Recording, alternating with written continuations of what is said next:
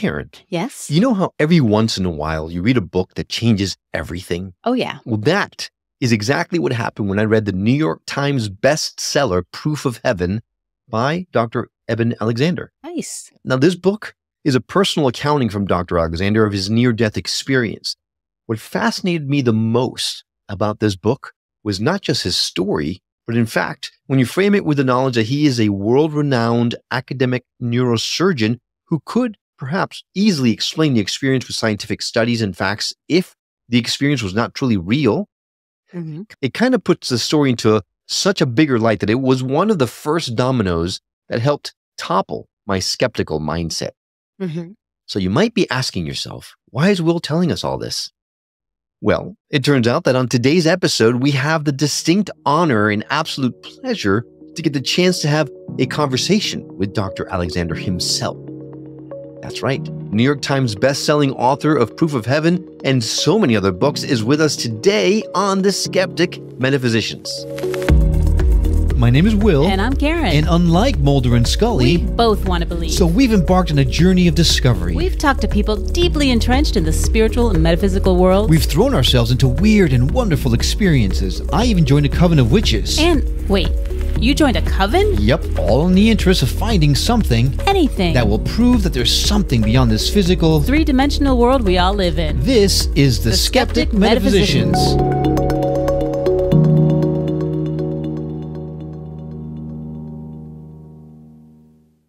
Hi, I'm Will. And I'm Karen. Today's main topic revolves around the reality of life after death. Dr. Eben Alexander spent over 25 years as an academic neurosurgeon, including 15 years at the Brigham and Women's Hospital, the Children's Hospital, and Harvard Medical School in Boston. Over those years, he personally dealt with hundreds of patients suffering from severe alterations in their level of consciousness. So he thought he'd had a really good idea of how the brain generates consciousness, mind, and spirit.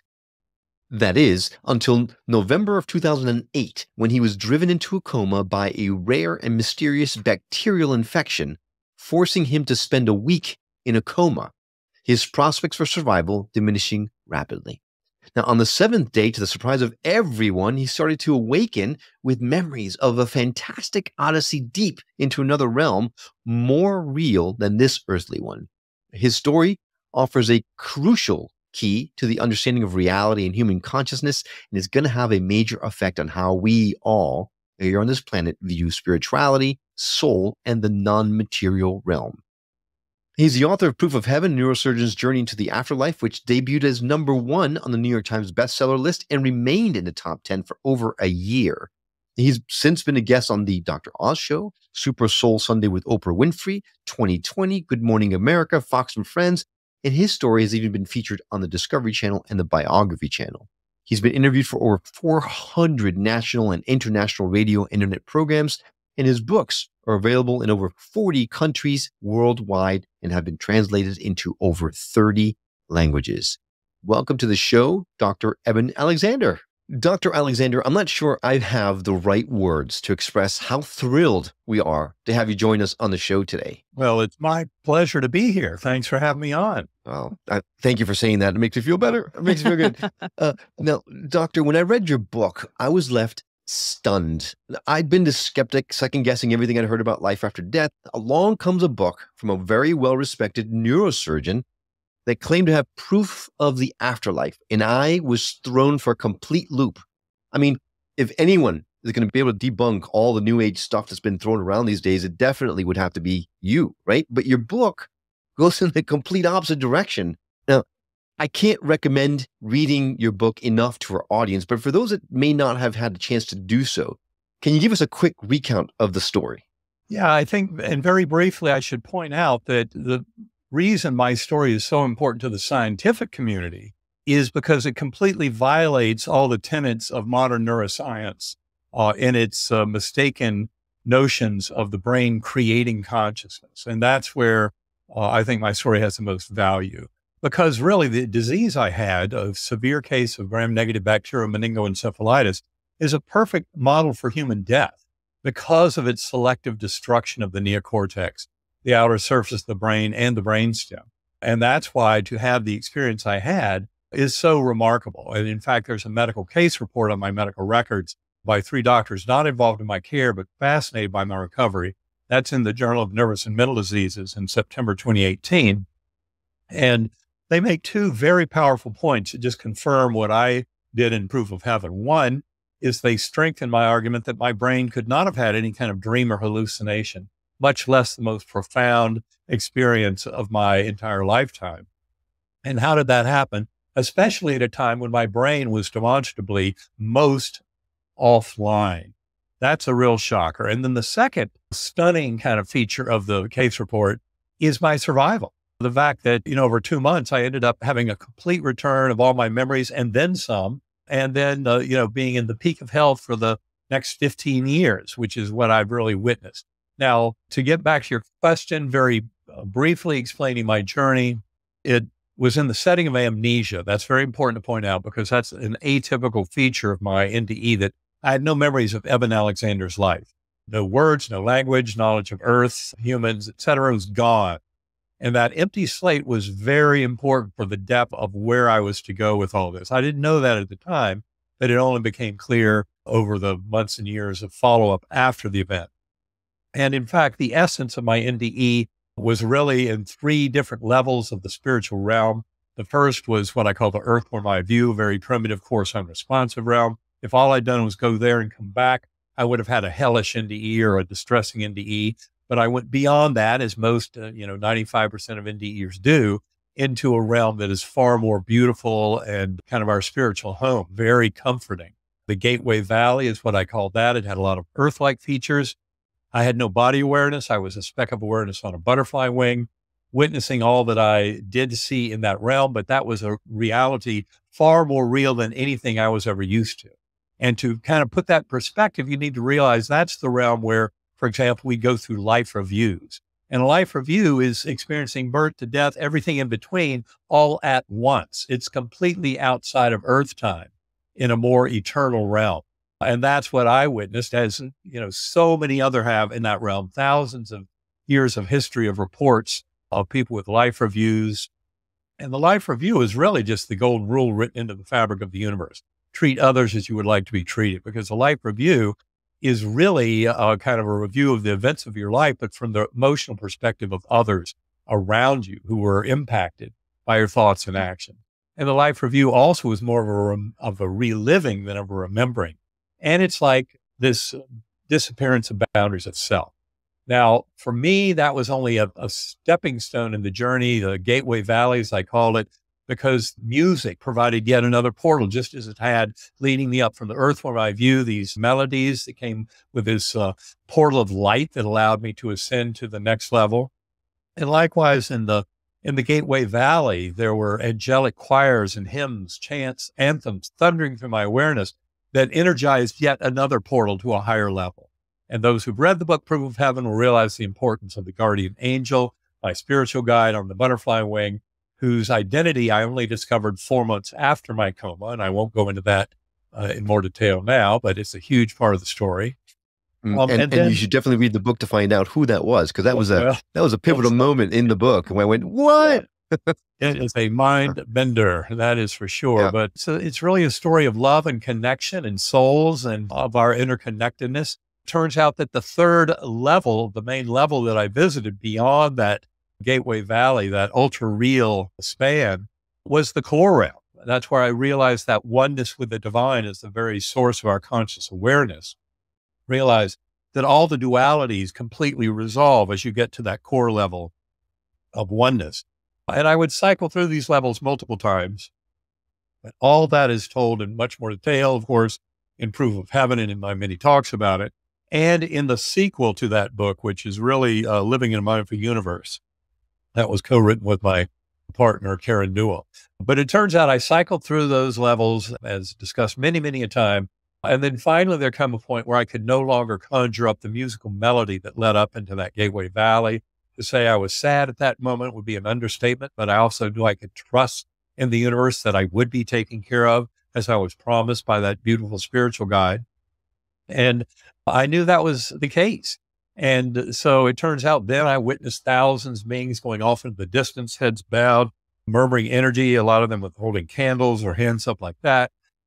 And when I called all that and in coming back to this world in my early writings in the weeks after return from coma was the power of prayer. That's how I saw that was it was drawing me back to this world. And the last thing I saw in the coma experience were the six faces. It would kind of bubble up out of the muck, say a few words and disappear again.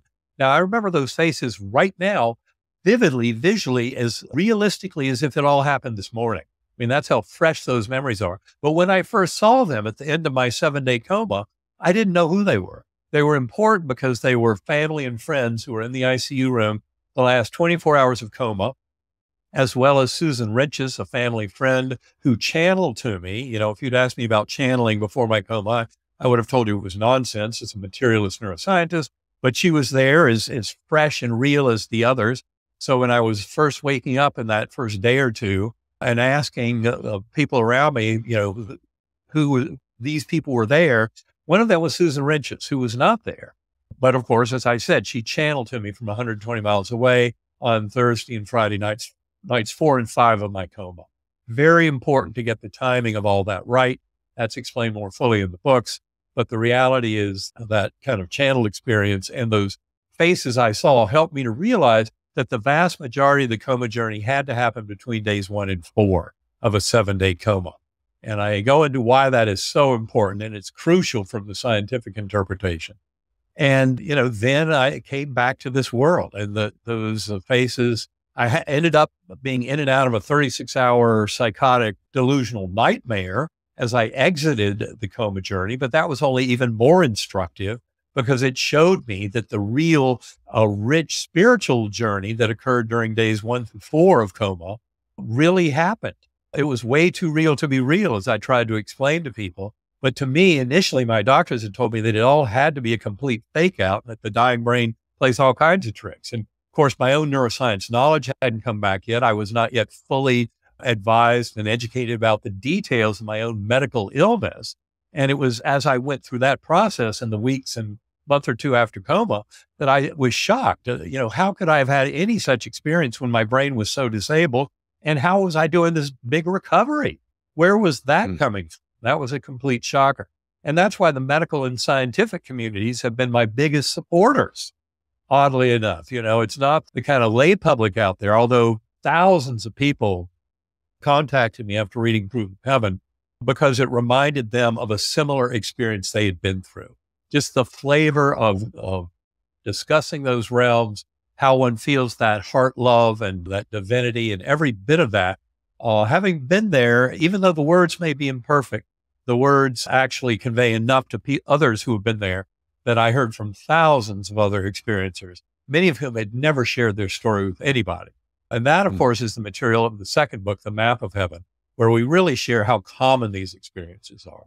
But Map of Heaven is not my own personal sequel of my journey, but Proof of Heaven and then Living in a Mindful Universe are my own personal story of my journey of discovery. And that includes the 15 years since my coma, working with scientists around the world, coming to a deeper understanding of the nature of consciousness. And it's one that the modern science of consciousness ends up supporting the reality of the afterlife and even of reincarnation. You'll find that for example, UVADOPS.org, University of Virginia Division of Perceptual Studies have studied more than 2,700 cases, past life memories in children, suggestive reincarnation. 1,700 of those cases are solved. That is, they actually found the person described by the child. And, wow. you know, people hear about this and they may say, well, I don't believe in reincarnation. It doesn't really matter what you believe. The scientific evidence is there. It's very strong. It's good that a big portion of the scientific community takes this seriously. And that community includes quantum physicists, includes a lot of medical doctors and nurses who have witnessed these things in their own patients. And of course, many other experiencers and students of psychology, parapsychology, you know, non-local consciousness, telepathy, all these things are a giant body of evidence that supports consciousness as primary in the universe. And that's really where our book, Living in a Mindful Universe goes. And the good reality for all of us is that the evidence only leads one way. We'll never be making the stupid mistake of going backwards into the materialist mindset, where basically they just said, ignore the evidence, debunk it, deny it, don't believe it because it doesn't fit our theoretical models of materialism. And, you know, there's no better way to fool yourself as a scientist than to deny and debunk evidence. You know, Carl Sagan is famous for saying that scientists should never deny evidence because they don't know which evidence is worthy of denial and not. So you really need to take all the evidence. And that's where scientists like those at University of Virginia and other centers around the world have gone far beyond conventional science and coming to a deeper understanding of how all this works and, and explaining the reality of the brain mind connection and especially the nature of consciousness itself, which seems to be much more unified with the brain as a filter that allows that primordial connected unified mind to come in as a little eddy current of an apparent individual consciousness. But ultimately, we find that that is an illusion when we leave the physical brain and body at the time of death. And that's what near death experiences have been trying to tell us for thousands of years about that hmm. primacy of consciousness, its interconnectedness, and that it's ongoing after bodily death. Wow. So now I have 10 million questions. well, we've only got a certain amount of time, Karen. yes. So you got to so limit them to like three. I kind of want to go back quite a bit into this conversation to, well, not the beginning, but sort of the beginning. So you're a neurologist. I mean, you're a mm. scientific man. You have this experience and you know that putting it out there into that community is really going to risk, potentially risk your reputation, your career. How did you know this was real? Like what compelled you so strongly to, to really get this information out? Well, you know, as I said, when I was first coming out of all this, you know, I was very my brain was very addled. My mental function was kind of up and down, in and out. And my, my doctors were shocked because they thought I had a 10% chance of survival early in the week, a 2% chance of survival by the end of the week, but no chance of recovery at that point. That's why they recommended taking me off the ventilator, stopping all the antibiotics, and just letting, letting me go. And that's when I started coming back to this world. And they were surprised and then amazed because I started having a full recovery, which nobody expected was unprecedented in the medical literature. And, you know, to me, I was blissfully ignorant of all that had happened during that week. Uh, I was just kind of coming back like, what are you guys doing here to my family? You know, and they're like, oh my God, what a thing to go through. And then here he is coming back. Initially, it was quite frightening to them because they could tell that my brain was still very impaired.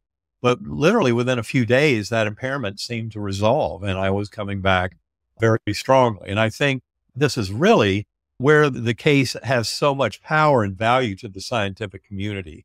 Because uh, literally, I mean, when the when the case report was presented, the peer review editors uh, said, "Well, this is absurd. There's no case like this in the literature of somebody this ill from bacterial meningoencephalitis making a full recovery. So, how do you explain it?"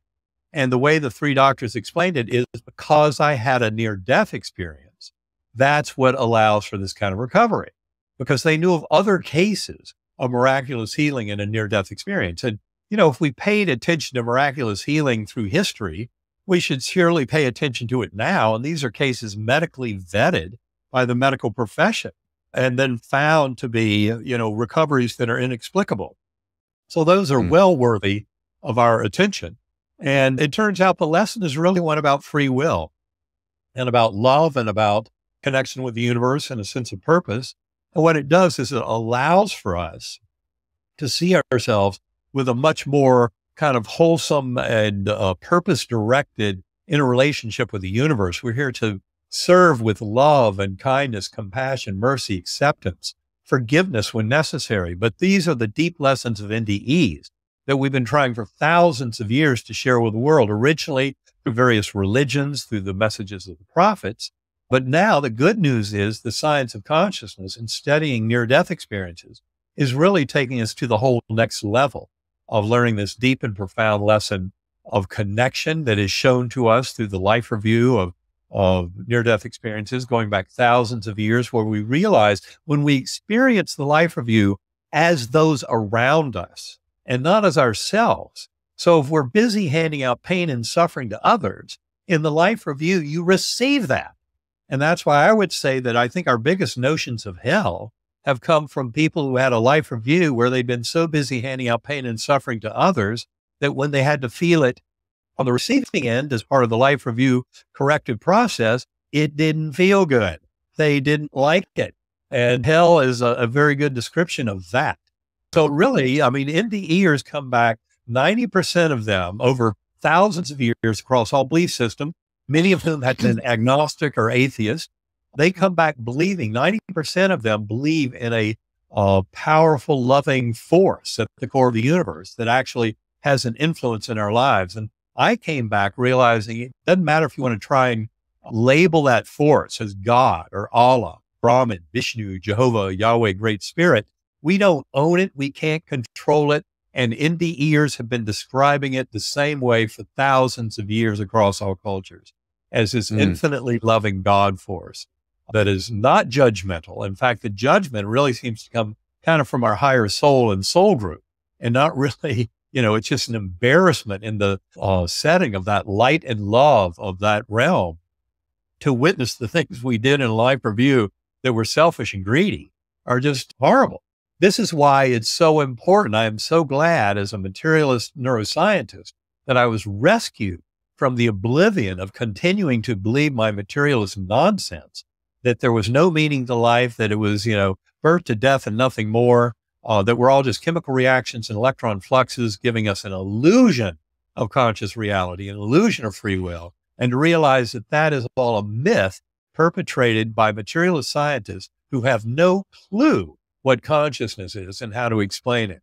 And that is why this uh, modern effort by scientists to examine consciousness and the nature of reality is so incredibly important in the current era. And it involves mm. an awakening of humanity that will also necessitate that we take proper stewardship for this planet and discontinue our very greedy and selfish, you know, addiction to fossil mm. fuels, corporate greed of the energy industry, plastic pollution twice the size of Texas and the Pacific Ocean. These are all results of the false sense of separation of materialism. And the more we realize we're part of the universe and part of each other, we're all bound together through this force of love, the more we realize that it's imperative we start behaving differently than we've been behaving. Homo sapiens is really not as wise as it, it labels itself to be when you look at the world today. And it is high time we took proper stewardship of this planet, quit, you know, burning fossil fuels and elevating the temperature of the planet, where it becomes an unlivable nightmare for our children and grandchildren. And especially when you realize the seriousness of that reincarnation literature and acknowledge the fact, as Jim Tucker and Ian Stevenson, who have done a lot of the reincarnation work at UVA, will tell you, our memories are covered over at age five or six. So that you don't remember. Most of us as adults, teenagers and adults don't remember past life memories, but they're there in children and they're very real. And in fact, they often explain phobias, behaviors, things like that in these children who remember past lives. But do note that at age five or six, they start getting covered over. So by the time they're an early teenager, they don't remember any of it. That's why mm. most don't remember that, but we should pay attention to the scientific literature that tells us that a lot of children do remember past life memories and that they're very important in truly understanding our journey as a soul, who we are, why we face the various hardships in life that we do, and how we can learn to grow from those hardships, challenges, and difficulties, and not just fear them and run away from them. And you mentioned being rescued from that type of thought process. And so I would say that you now are helping to rescue a lot of people out here that are stuck in that loop.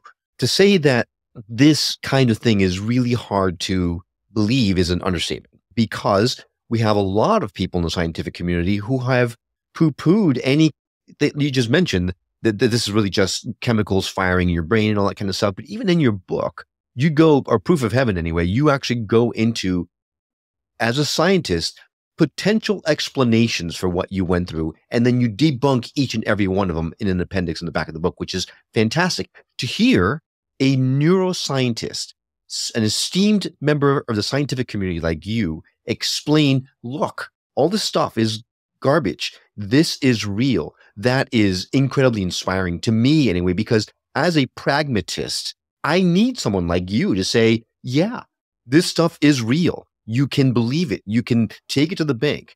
Now, the question that jumps to mind immediately once reading your book is your experience was very different than a lot of the experiences that you hear from other NDEers, right? You didn't see a tunnel that took you into a bright light. You didn't see your loved ones at the other end of it. How do you account for that? Why was yours, your experience so different than others that we've heard before? I wouldn't say mine's so different at all, especially if you uh, look at Bruce Greyson's NDE scale, which he published in 1983. It has 16 different elements in four broad categories. And the maximum score you can get for an NDE is 32. If you score seven on his testing, it's an NDE. I get a 28 or a 29, depending on how you score it. So I had mine wow. was an absolutely right down the alley. In fact, the only reason I lost points was mainly due to my amnesia and not having mm. a personal life review. I couldn't have an Eben Alexander life review, but I ended up seeing uh, life reviews and reincarnation in gigantic form in two visions I had. One I call the flying fish vision, the other, much more powerful at a later passage through the core realm, was the Indra's net vision. And that was a very profound kind of experience of the interwoven soul lines of all of our souls involved in this evolution of consciousness. Very profound experience. So I think that's the important thing to get is when you really know about NDEs, study NDEs a lot. Mine ended up getting an incredibly high score. It was every bit of that, but that amnesia was a very kind of key sticking point because it's so unusual. And yet, when I first came out of coma, to me, amnesia made perfect sense because I was still harboring that outmoded belief that memories might be stored in the neocortex. But of course, I didn't yet know that all my memories were going to come back and be even more complete than they were before coma, which is what happened over about two months. So it's really all, uh, you know, this is why I had to share the story. Once I figured out what had happened, as I tell in the book Proof of Heaven, that happened four months after coma, when I received a picture in the mail from a birth sister. And that's how I identified that beautiful, loving guardian angel on the butterfly wing. That's when I realized it all was way too real to be real because it actually occurred. That was the uh, the real wake up call, the identification of that beautiful spiritual guide, and that's when I really dove in in earnest. Now I'll point out for you and your audience, the scientific evidence for the reality of these experiences is already overwhelming. There was a contest held in 2021. BigelowInstitute.org is your uh, resource site for the 29 winning essays of that contest. But it was held by an entrepreneur in Las Vegas who wanted to know what's the best scientific evidence for continuation of consciousness after permanent bodily death. He held a, a contest in 2021. They ended up receiving 204 essays, all from people who had spent at least five years scientifically researching the afterlife question so very high quality, not from, you know, armchair philosophers who know nothing about this and who commented on it from a position of complete ignorance. These people know what they're talking about. If you go to bigelowinstitute.org, you can read all 29 winning essays for free. I highly recommend do that. And you'll realize after reading any of these essays that we're already pretty far along the pathway to a scientific kind of explication of the reality of these experiences. And then we'll need to move into understanding mechanism much better. But the reality is that first place essay by Jeffrey Mishlove really hits it out of the park. For those who absolutely insist on a very strong leading edge scientific analysis, I would recommend several of the essays, but in particular, uh, Pim van Lommel's essay, the second place winner, also Bernardo Kastrup, who's uh, these are all also supporters of our book, Living in a Mindful Universe, these scientific endorsers and also Julie Beischel. She wrote a beautiful scientifically derived essay on the on the reality of, of mediumship and uh, mediums that uh, interact with the souls of departed loved ones. Uh, and Julie Beischel's done a lot of very good scientific work, fully supporting the reality of this. So it's no longer a question of whether or not this is compatible with science you, you, what you end up finding is a scientist is either familiar with the data or they're willfully ignorant. And there are enough of them around of the willfully ignorant ones who keep claiming things, even though they really don't have any basis for knowing it at all. Uh, like Sean Carroll. I had the pleasure of debating mm. Sean. He's a brilliant physicist and I really love his physics work. But uh, this was back in uh, Intelligence Squared in 2014 a debate with him and Steve Novella, but I must tell you that he has no experience to be answering these questions of, of the spiritual nature. And yet he keeps claiming as a particle physicist that he has proof there is no God, there is no heaven. And I would say he's mm. dead wrong. Put him up against uh, all those uh, winning Bigelow Institute essays, and you realize he might know quite a bit about quantum physics, but he's not very educated about this particular question. So there are a lot of scientists who are. If you go to scientificandmedical.net, go to galileocommission.org, you will find these are groups that I've worked with from around the world, scientists who realize that the materialist model that pretends, you know, physicalism, that only the physical world exists, the brain creates consciousness, that that it isn't supported by the evidence at all. And we are much better off looking at consciousness as being a unified field that's interconnected with our brain serving as a filter that allows us to access that level, the mental layer of the universe. But the interesting thing is when our brain and body die, it's not a shrinking down of conscious awareness to nothing, as a materialist would predict, but it's a liberation from the shackles of the prison. So it's an enlargement and enrichment and a reconnection of consciousness. So it's the complete opposite of what materialism supports. And, and yet there are millions and millions of NDEs out there around this world to attest to the reality of this. It happens in something like 15% of cardiac arrest patients, they have a profound spiritual wow. experience that can be labeled an NDE. Uh, probably something like 5% or more of Americans and, and Western Europeans have had a near death experience. And these after death communications are even more common, probably to the tune of 20% or so of people having a very powerful connection with a loved one who's left the physical plane that to them completely proves the reality of their ongoing connections. And in this regard, we just lost one of our great pioneers, uh, Bill Guggenheim, who wrote uh, with his former wife, Judy Guggenheim, in the mid 1990s, the book uh, Hello from Heaven, which is about over 300 after death communication cases that they investigated. And unfortunately, Bill has just recently passed over himself a few weeks ago. And Bill was one of my greatest mentors. And uh, I, I, I miss him from the physical world, but I've already had Karen and I have already had beautiful contact with him from the from the uh, you know the other side, and he's wow and, well. and I, I was just going to ask you about that. We've talked to several, well, many people that have had NDEs, and they have all, well, at least the vast majority of them have told us that they have changed. Obviously, their perspective, their beliefs, but so many of them have developed these spiritual gifts, um, whether it's channeling or the ability to connect to source. And I wanted to ask you if that had been your experience as well. well, like I, I, well, it, it, has been in a huge way, but it, in many ways, it's been cultivated. I realized, you know, in the first two years or so after my coma, I read more than 150 books, quantum physics, uh, everything about brain mind connection I could get my hands on, spiritual texts, mm-hmm. East and West, going back thousands of years. I really wanted to get to it. But I realized that ultimately, if I wanted to have any kind of deep understanding of my journey, I had to explore consciousness. I had to meditate. I had to use centering prayer. I had to go within. And so, beginning about two years post coma, that's what I started doing. And I wasn't just doing it randomly or kind of chaotically. I was quite focused. I had heard about a technology called binaural beat brainwave entrainment. It's a phenomenon discovered in the mid 1800s by Wilhelm oh, Heinrich oh, wow. Dove. It basically says if you put a pure tone in one ear, say 100 hertz, 100 cycles per second in one ear, and as an example, 104 hertz in the other ear. So a four hertz difference between the two, you end up getting a four hertz signal somewhere in the brain. Heinrich Dove got this. And then in the late 20th century, uh, Robert Monroe investigated binaural beats in the in, uh, uh, instigation of out of body experiences, and other investigators use binaural beats to enhance remote viewing. You know, the psychic spy abilities mm-hmm. and what have you. The remote viewing is one of the most scientifically validated forms of non-local consciousness in the world. It's been uh, beautifully validated by Jessica Utts, head of the American Statistical Association in her presidential address in 2015, where she talks about precognition and remote viewing, saying the statistical scientific evidence for their reality is beyond dispute. And yet you find sources like Wikipedia, which is made up of rampant militant materialists, claiming that uh, remote viewing is pseudoscience. Well, that's because Wikipedia is pseudo encyclopedia.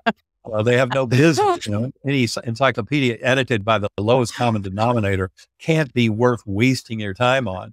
Time to get rid of that. But uh, that, unfortunately, is the sad truth. If people use Wikipedia for uh, information, especially about spiritual matters, they're going to find that there's this Gestapo that is right Mm. there to smash any kind of hint of spirituality emerging on Wikipedia. But luckily, there are plenty of excellent resources out there that show the deep truth of remote viewing and other things. But that was my key into meditation was using uh, binaural beat brainwave entrainment. And in fact, my partner, Karen Newell, who had been very busy with binaural beats long before I discovered them, she ended up under my encouragement, she and her business partner, uh, Kevin Kossi, who's a sound engineer, electrical and mechanical engineer, but he uses it also for sound engineering. They ended up forming a company, Sacred Acoustics, and I was their alpha tester from the get go. Uh, I use Sacred Acoustics daily, an hour to a day. I use it for meditation. Very powerful technique. It allows us to be liberated from the here, now, and the sense of self, of the physical body and brain. And that's where we have used our workshops, Karen and I have, to prove that many of us who have never had a near death experience can come into the same kinds of knowledge that prove the reality of the NDE using binaural beat brainwave entrainment uh, enhanced meditation. Uh, If you Mm. go to sacredacoustics.com, you can learn a lot more. You can look at a lot of the testimonials there and download a free 20 minute OM file, listen to that with headphones. But for me, I could not dispense with my tones. I use them not just to return to my NDE to recover from memories, but really to cultivate and interact with the various denizens and guides and entities, and especially that infinitely loving God force at the core of the universe through my meditative efforts with sacred acoustics. I must confess, I have not yet duplicated the full blown ultra reality of my near death experience. It was so prominent. I talk about that in Proof of Mhm. Heaven, how it's much more real than this existence. You know, people often think, well, an NDE must be kind of dreamlike and murky. No, this is dreamlike and murky. That is sharp and clear, memorable, defined, and transformational uh, in ways that Mm. NDEers know full well and will describe by the millions. And this is where I think it's important for all of us to learn to go within. We can all start to cultivate our rich relationship to the universe at large. Now, I am absolutely giddy to hear you say things like this. This is exactly what I've been looking for my entire life, it feels like. And I think we should note that one of the most astounding things about your experience is that you you hadn't really studied NDEs or anything like that before. So when you came out, I believe it was your son or somebody in your family asked you to go ahead and write it down before you look into it. And then after you it was all written down, that's when you started looking into it and finding the similarities. So that in and of itself is astounding to, to think that you had no knowledge of NDEs until that point, and it was all proven to you by third party verification. Right. And and that was really uh, both my sons, Eben and Bond, have been tremendous gifts in this kind of unraveling of this journey. Bond, of course, was that 10 year old boy that I saw at the end of my journey and knew I had to come back to this world, even though I did not recognize him. And Eben the fourth, my uh, older son, was the one he had been there at the bedside holding my hand, you know, with other family members while I was deep in coma. And then he'd gone back to school as I was starting to show some signs of recovery just to finish off some final exams before he raced back home right before Thanksgiving, two days after I got out of the hospital. And I remember he, he drove overnight to surprise me because he'd heard I was up all night because I couldn't sleep. I was so energized because of my coma. And he got there about 6 a.m., gave me a big hug, and he told me later, he said it was like there was a light shining within me.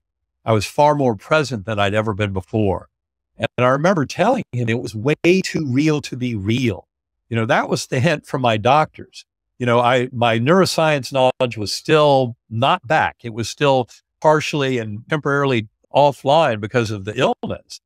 And yet my doctors were so shocked that I'd actually been able to leave the hospital making conversation, able to communicate. That was such a complete shock to them, given what they expected of this illness. They kept telling me, well, the dying brain plays all kinds of tricks. We have no idea how you're coming back to us, but you can forget about whatever you experience because the dying brain is uh, tricky. And I believed that. Uh, and that's, and in fact, I'd never really read the NDE literature. I always thought, well, it's nonsense. You know, it's hallucinations of the dying brain. Who cares? But now I realize, my God, it's so much more than that. It's what happens when you die, these incredible visions. And so I dove in deep to the literature, but only after I had written about 20,000 words of my own story. And that was due to my advice of Eben the Fourth. he told me write it all down before you read anyone else's NDE account. And that was very, very important. That way I mm. knew that everything that I'd written down about my own experience was my own experience and nowhere was it tainted by someone else's NDE or their experience. And uh, as I said, when you when you really line it up against other NDEs in a rigorous, you know, academic scholarly fashion, it scores very high on the on the Bruce Greyson NDE scale. One of the things that surprised me, let's say that is is that because when you first, uh, I don't know if the right term is woke up in the NDE, where when you went to a coma and you became aware, you were in this muck, this darkness, this area that didn't seem pleasant, for lack of a better word. But then you rose up into the other realms, which were the heaven that people talk about. What do you think that is? What what is that muck that you awakened to in the beginning?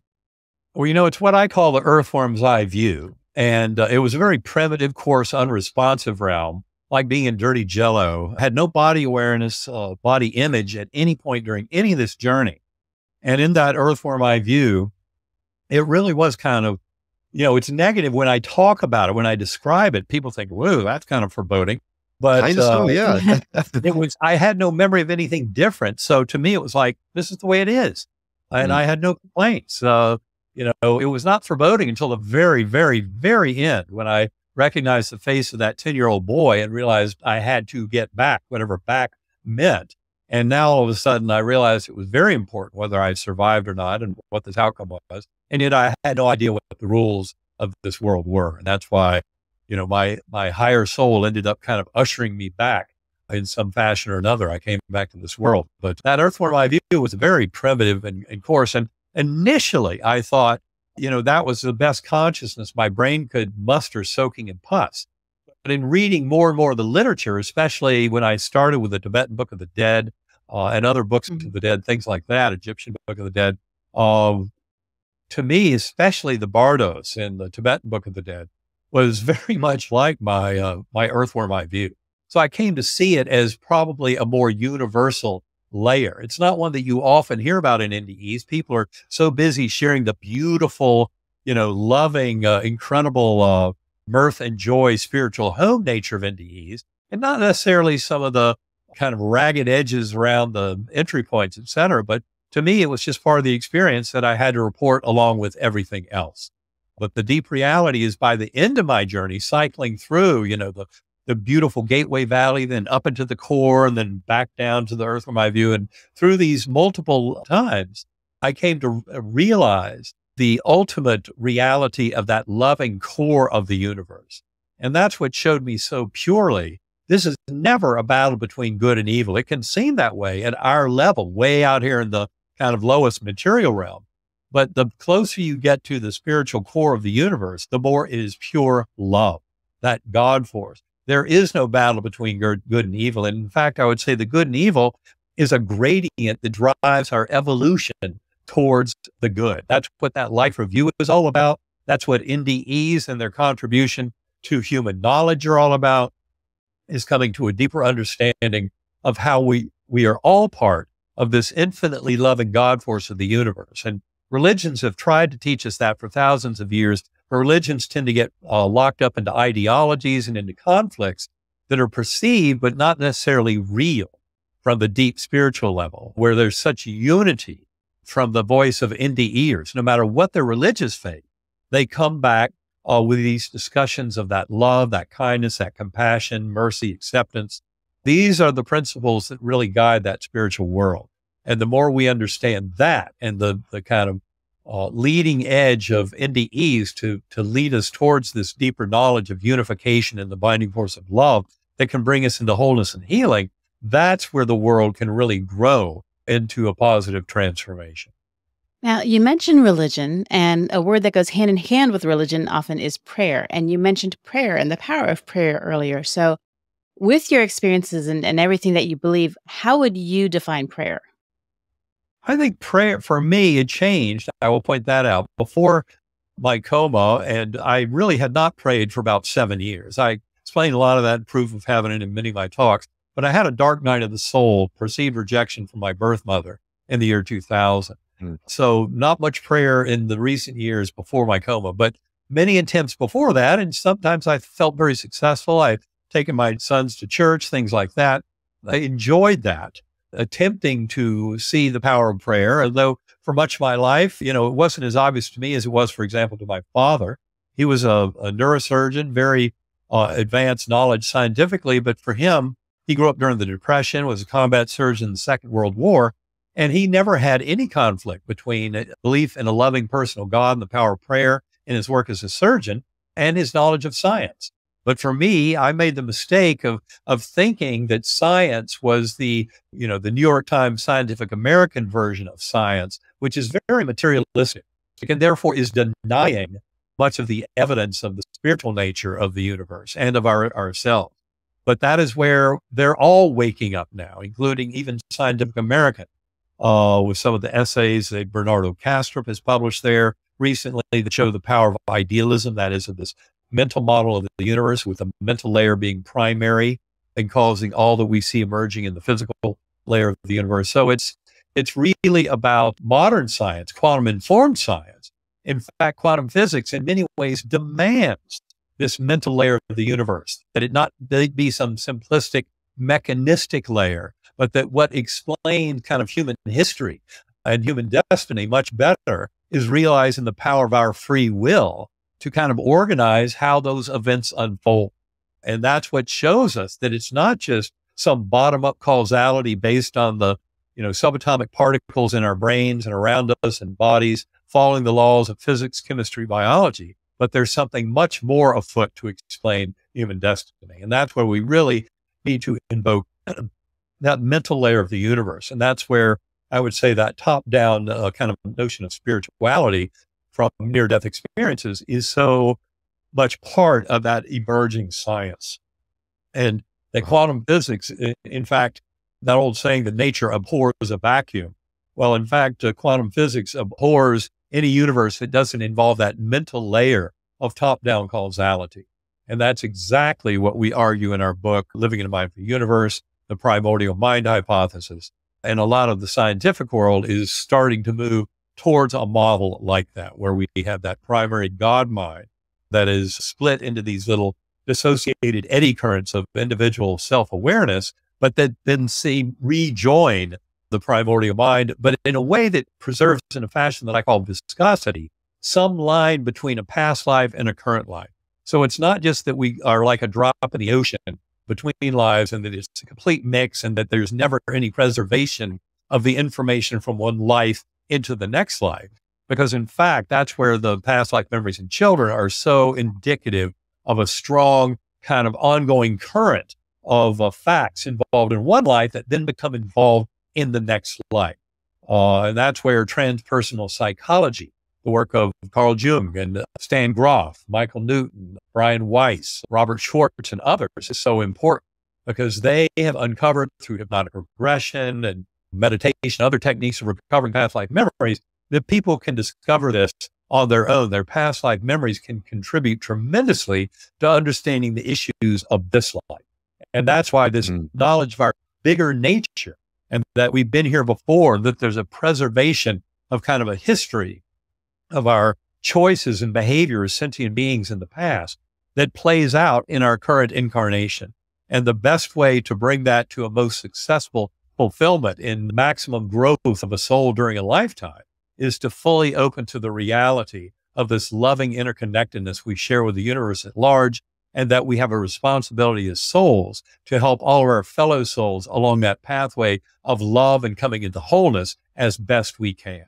And that's where yeah. we end up getting tremendous kind of soul growth and personal benefit out of these efforts to connect with the universe at large through meditation, centering prayer, other ways of connecting. We don't have to depend on 2000 year old dogma reported in books where some of the church fathers handling those books are afraid of people who have had actual personal experience and will try and tell you it's the devil's work. Well, that's not true. In fact, the vast majority of NDEs lead towards uh, this notion of love, kindness, compassion, unconditional love, mercy and acceptance, forgiveness, gratitude, all of these profound capabilities of the human soul to help us to grow. And that's where I think all of us can benefit from awakening to these deeper truths. No doubt about Absolutely. it. Now, I could listen to you speak for literally days. I just sit here and listen to you speak. It is so rewarding to hear someone with your credentials speak about this stuff in such a matter of fact way that helps us really come to terms with the fact that we're much more than this three dimensional bodies that we inhabit. I know you are an incredibly busy man. We don't want to take up any more of your time. We're going to lay in direct links to your books, Proof of Heaven, Living in a Mindful Universe, all those books, as well as some of the resources that you mentioned in the interview. So if you're interested in doing further research, please feel free to go to skepticmetaphysician.com and go to Dr. Alexander's episode page. You will see all the links directly listed there as well as Dr. Alexander's website and social media accounts so that you can reach out to him directly if you're so inclined. Doctor, I, I have at least 52 more questions that I wish I had more time for, but maybe at some point in the future we can have you back and continue the conversation. Well, I, I think that'd be a great idea. And what I recommend is we also include my partner and co author of Living in a Mindful Universe, Karen Newell. She's been a, very rich source of spiritual wisdom to me. Uh, of course, uh, is an expert in uh, sound induced meditative states. And maybe uh, we should reconnect and have Karen join us next time so people can hear somebody who really understands all this. That would be great. We would love that. That'd Absolutely love that. Yeah. So uh, thank you so much for your time. Thank you so much for your expertise in the information you provided to us. And thank you so much for sharing your story because people like you standing up and talking about this kind of thing is what's going to help change the world. So thank you so much for what you're doing. Well, Will and Karen, thank you so much for having me on. I greatly appreciate it and uh, look forward to our next conversation. As do we.